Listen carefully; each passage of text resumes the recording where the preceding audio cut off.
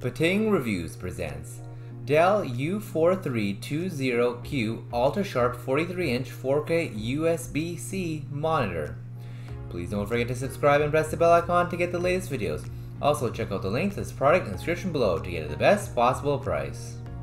Great for office work. I bought this monitor to use at home for remotely doing office work.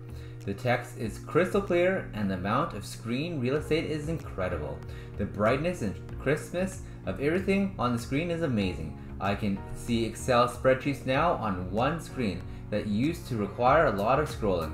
I don't do gaming, so I can't comment on that. The setup was extremely easy. I used the included USB-C cable to connect the monitor to my laptop, which also has a USB-C port.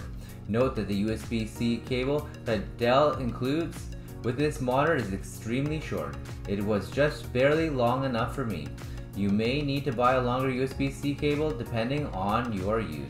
The seller was great and processed my order within hours, no problems whatsoever. I wish all of my purchases were this smooth. I've never used had a 4K monitor before and was concerned that everything would look too small, even on a monitor as large as this. But the upscaling for text works great.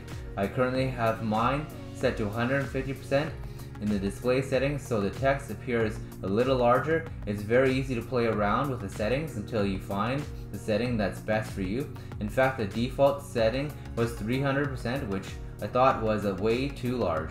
Yes, this monitor is somewhat expensive. It's a brand new model that was just released a few months ago.